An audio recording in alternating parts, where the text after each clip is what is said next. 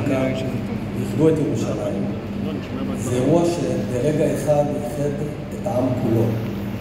היום אנחנו נציין את יום ירושלים ובמהלך היום יתקיימו שלל אירועים, בכללם מצעד הגדלים המסורתי שייערך במסלול הקבוע. הנפת דגל ישראל בבירת ישראל היא דבר מובן מאליו, ולכן היינו בהירים וברורים בנושא מהרגע הראשון.